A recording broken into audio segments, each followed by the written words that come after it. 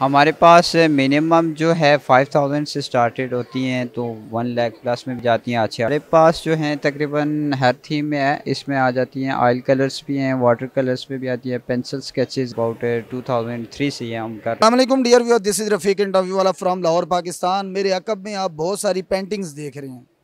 Professor art gallery का नाम तो आपने सुना होगा। अगर नहीं सुना तो आप गूगल कर सकते हैं यूट्यूब कर सकते हैं फेसबुक कर सकते हैं।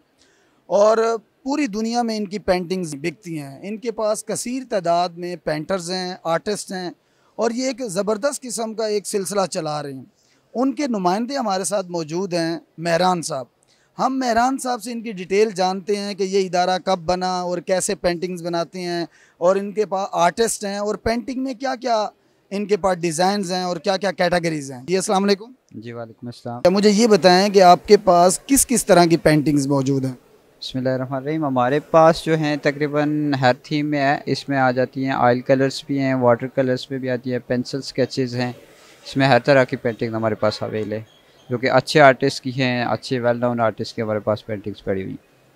अच्छा मुझे ये बताएँ कि आ, सबसे लो कास्ट के ऊपर जो है जो जिसे आमतौर पे कहते हैं सस्ती वो पेंटिंग कौन सी और सबसे हाई जो है आपके पास वो कौन सी बेसिकली जो हमारा थीम है यहाँ पे हर जो आप कह रहे हैं सस्ती पेंटिंग सस्ती पेंटिंग्स की तो कोई प्राइस नहीं होती। तो ये है कि हमारा एक बिज़नेस बना हुआ है लोगों को, घरों को रंग करने के लिए लाइक तो हमने आर्टिस्ट बेस पे काम करते हैं कि जो उनकी बेस होती है। बेसिकली इसमें जो सस्ती पेंटिंग होती है, वो आर्टिस्ट कॉन्ट्रैक्ट बेस पे होता है कि ये पेंटिंग हमें सेल्स करनी है। लाइक like, उस बेस पे होता है। बाकी जो वेल नाउन आर्टिस्ट हैं उसके लिए भी हमारे पास अलग पैटर्न है और प्लेटफॉर्म है। और दूसरा ये कि प्रोफेसर आर्ट गैलरी जो बेसिकली जो हमारे आनर हैं वो पहले प्रोफेसर रिटायर्ड हैं। उनके पास ये उनका समझें कि हॉबी थी चीज़ें कलेक्ट करना।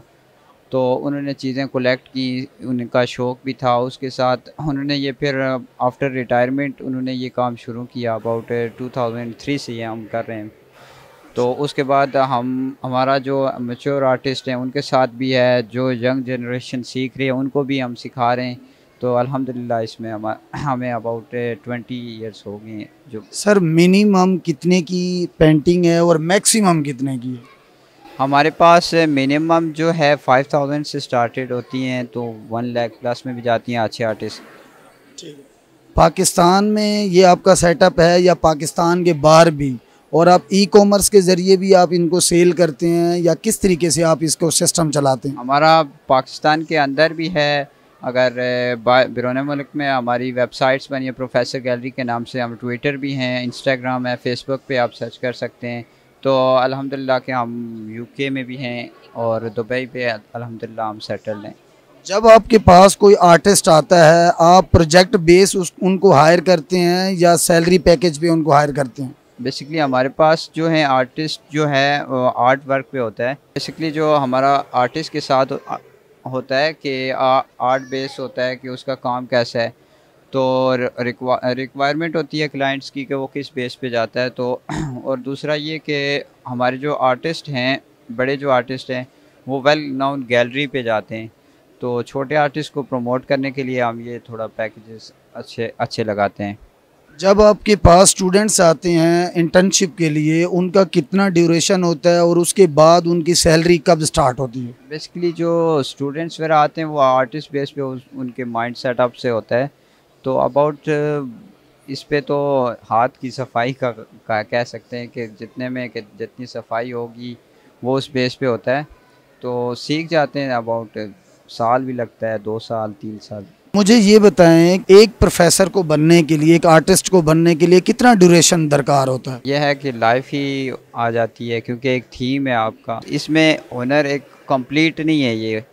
इस पे सीखता जाता है बंदा सीखता जाता है स्टिल सीखता ही जाता है। मतलब ज़िंदगी मुक जाएगी ये खत्म। ये काम नहीं खत्म होगा। अच्छा मुझे ये बताएँ सर कि आपके पास जो डिफरेंट कैटेगरीज की पेंटिंग्स हैं एक्सपेक्टेड जो इनकी प्राइजेज होती हैं वो क्या क्या होती हैं?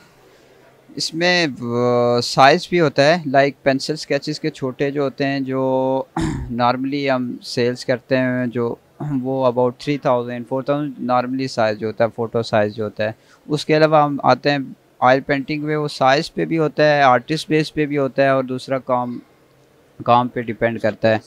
और वो अबाउट टेन थाउज़ेंड से भी स्टार्ट होता है, और स्टिल ऊपर जाता है, और उसके अलावा जो है वो वेल नाउन आर्टिस्ट भी होते हैं जिसमें छोटे से वा, वाटर कलर्स आ जाते हैं क्योंकि वाटर कलर जो है एक डिफ़िकल्ट मीडियम होता है उसमें गलती की कोई गुंजाइश नहीं होती। थोड़ी सी गलती हो गई पूरी पेंटिंग डिस्टर्ब हो जाती है। वो कहाँ से स्टार्ट होती है? वो वो भी स्टार्ट अबाउट ट्वेंटी से ऊपर ही जाती हैं। तो मिनिमम होता है साइज़ वर्क होता है बेसिकली कहा जाए तो साइज़ पे भी डिपेंड करता है और काम पे डिपेंड करता है। जो इस आर्ट से मोहब्बत करने वाले हैं लगाव करने वाले हैं उनको क्या मैसेज देना चाहेंगे? बेसिकली आर्टिस्ट एक ये है कि सिंस करें क्योंकि ये भी एक थीम है कंसेप्ट है और इसमें मैं क्या कह सकता हूँ? जी बहुत बहुत शुक्रिया हमारे साथ थे प्रोफेसर आर्ट गैलरी के नुमाइंदे मेहरान साहब और आपने देखा इन्होंने बहुत सारी पेंटिंग्स के बारे में बताया उनकी कैटेगरीज बताई उनकी प्राइजेस बताई और फिर ये एक इदारा है इसको आप ज्वाइन भी कर सकते हैं इनसे आप ख़रीद भी सकते हैं।